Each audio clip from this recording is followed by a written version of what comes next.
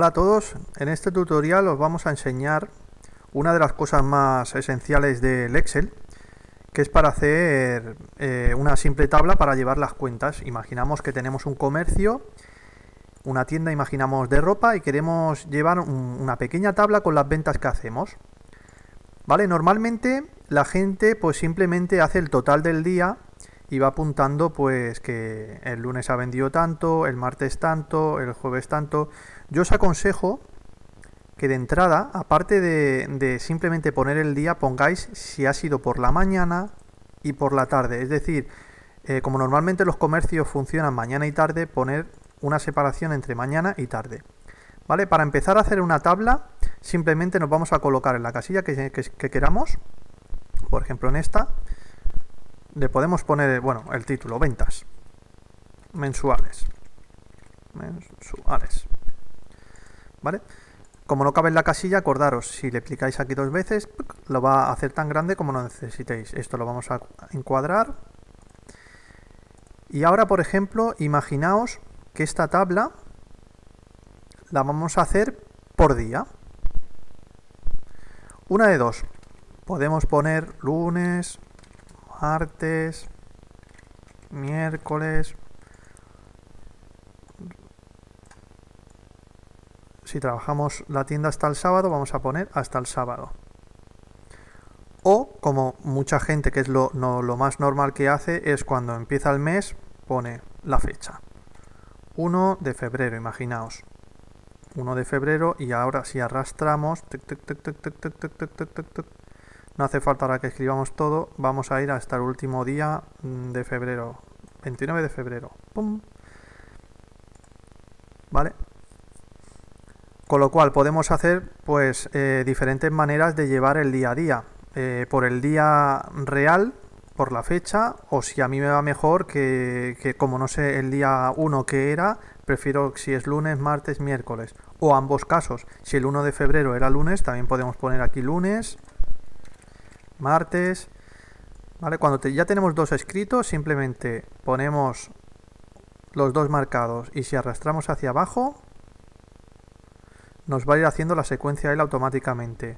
Si os fijáis, lunes, martes, miércoles, jueves, va repitiendo todo. Así sabemos cada día que era. ¿Vale? Vamos a quitar esto. Una vez tenemos esto, lo suyo es que vayáis recuadrando, es decir, marcamos todo para no liarnos y le decimos aquí que me lo recuadre todo. Pum, para tener aquí. Vale, simplemente ahora ya sería saber el lunes 1 de febrero cuánto he vendido. Como os he dicho al principio del tutorial, normalmente la gente pone el total. Imagínate que hoy hemos hecho 200 euros.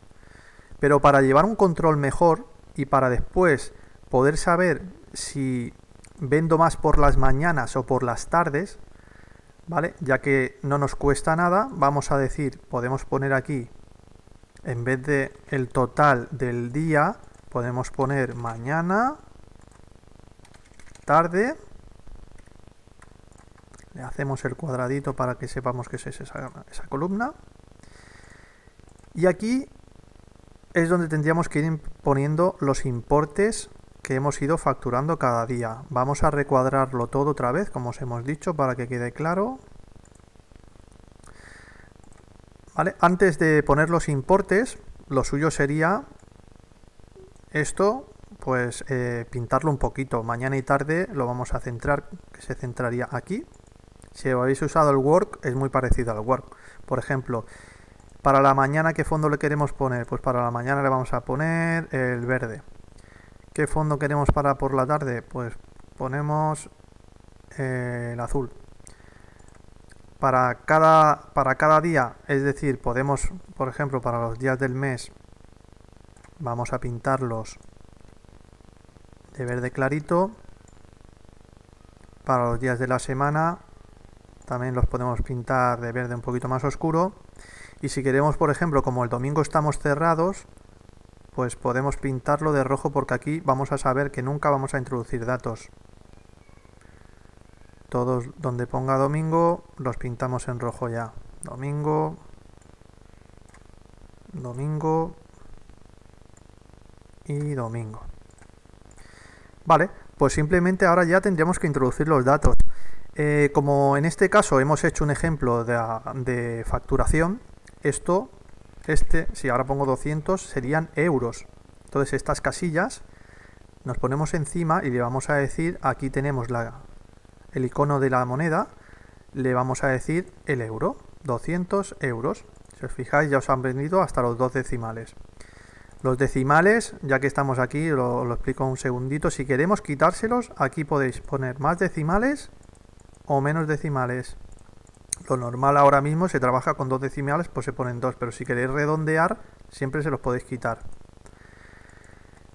Para no tener que ir casilla a casilla, pues ya sabemos, marcamos todo lo que van a ser euros hasta abajo, le picamos otra vez español euros y ahora mismo ya está el formato hecho, con lo cual si aquí pongo 100, automáticamente me va a poner 100 euros. Vale, ¿cuál es la finalidad de esto? Sería saber cuánta facturación he hecho este mes vamos a quitar esto de aquí para que ver si podemos ver toda la serie entera. Bueno, no nos deja. Vale, el total tenemos dos opciones. Ponerlo aquí abajo y poner total. Con lo cual aquí vamos a querer que nos sume todo esto que hay aquí. Podríamos introducir la fórmula manualmente, es decir, nos ponemos encima de esta casilla y le decimos que esta casilla, todas las fórmulas empiezan con igual, es igual a esta casilla más esta, más esta, más esta, más esta. Claro, eh, es un poco cansado. Le vamos a decir que fuera. Hay una opción que tiene Excel para no tener que hacer esto manualmente, que lo tenemos aquí, autosuma. Nos ponemos en esta casilla, le damos autosuma y le decimos que la autosuma queremos que, lo, que sea de todo esto. Hasta aquí. Le damos, una vez seleccionado al intro, si os fijáis ya me ha sumado 200 más 100, 300. En el otro sitio lo mismo, autosuma, pero esta vez la de tarde, todas las casillas de por la tarde. Le damos aquí, intro, bueno, ahora no tenemos nada, pero vamos a poner aquí que este día hemos hecho 50 euros más 60 euros. Pues si os fijáis, ya más sumando. ¿Vale? Esto es muy sencillo. Entonces significa que cada día tendríamos que escribir, venir aquí y escribir pues lo que hemos hecho.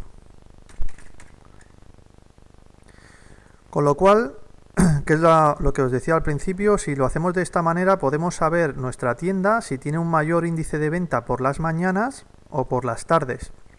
Imaginaos que por la mañana solo facturo 10 euros y por la tarde 600, quizá me tendría que plantear pues hacer un horario más corto por la mañana y exprimir más las horas por la tarde para hacer pues una facturación mayor en mi, en mi negocio. ¿Vale? Esta, esta casilla de total yo la he puesto aquí, pero que sepáis que la podemos poner en cualquier sitio. Imaginaos que la queremos hacer aquí. Total.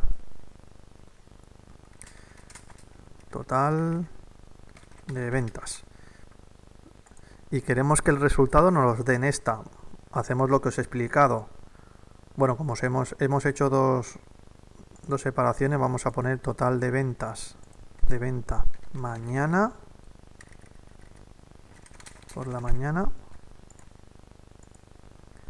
y total de venta por la tarde vale, nos vamos a poner en esta casilla y le decimos que aquí nos saque el resultado es decir, por la mañana autosuma de qué? pues desde aquí hasta aquí le damos al intro y ya nos ha sacado el total por la tarde autosuma de qué? desde aquí hasta aquí intro y ahora pues aquí nos va sacando las autosumas. Si os fijáis aquí me ha cogido un formato diferente, me voy aquí y le digo, no, no, este quiero este formato, el español. ¿Vale? Aquí pues lo de siempre, podemos pues dejarlo un poquito más bonito, combinar las celdas, encuadrarlas, aquí igual, combinar las celdas, encuadrarlas, aquí igual, encuadrarlas. Y luego pues si queremos le podemos poner un color diferente lo que sea. Acordaros que ahora esto, al ser fórmula, va a estar siempre ligado a lo que ponga aquí. Es decir, que si ahora el jueves facturáis 5.000 euros, automáticamente, ¿veis? 5.000 euros. Imaginaos que a veces ha pasado que facturáis un montón. Fijaos, ¡oh! ¿Qué ha pasado aquí? Nos ha puesto todo cuadraditos. ¿Qué ha dado? ¿Un error? No, simplemente esto Excel lo, lo, da porque no caben tantos números en esta casilla. Simplemente tenemos que venir aquí arriba, estiramos y ahora ya sí que nos da el resultado. Cuando él no, fíjate, lo vamos a poner otra vez más pequeño. Si no le cabe los números, te da esta salida a la fórmula. No significa que haya habido un error en la fórmula, significa que no caben los números. Agrandamos el espacio y ya nos cabe. Esto a veces es un error común para principiantes que no saben por qué pasa eso, se piensa que es un error en la fórmula, lo que simplemente es que no caben los números. Y bueno, esto sería lo más básico, básico, básico de, para hacer un, un control de, cuentas eh, de, una, de, un pequeño comercio. Luego también si queréis sumar, imaginaos eh, solo los lunes, pues siempre poner, siempre se puede hacer otra cosa. Por ejemplo, eh, ventas de solo los lunes. Imagináis que queremos saber qué hemos vendido solo los lunes.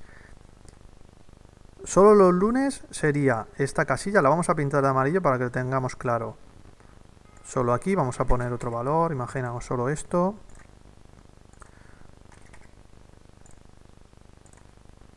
Solo esta casilla y solo esta casilla. Porque solo queremos saber, las estoy pintando en, este color para que sepáis que solo quiero saber lo que he vendido los lunes y por la mañana. ¿Cómo lo haría? Pues muy sencillo, nos ponemos aquí encima, le damos igual. ¿A qué es igual esta casilla? Pues a esta casilla con el signo más, esta casilla más, esta casilla más, esta casilla más, esta casilla ya no hay más lunes. Le damos al intro cuando hemos acabado y nos ha hecho la suma de las casillas que yo le he dicho. ¿Vale? Aquí siempre cuando os ponéis en una casilla, si os venís aquí, está la fórmula que habéis escrito. Es como el juego de barco, G4, G4. ¿Vale? Y esto sería ya luego, mm, si queréis sofisticar un poquito para saber solo lo que habéis vendido los lunes, los martes, los miércoles, pues habría que ir haciendo las secuencias poco a poco de cada día. ¿Vale? Pues nada, simplemente esto, espero que os haya gustado y nos vemos en el próximo tutorial. Gracias.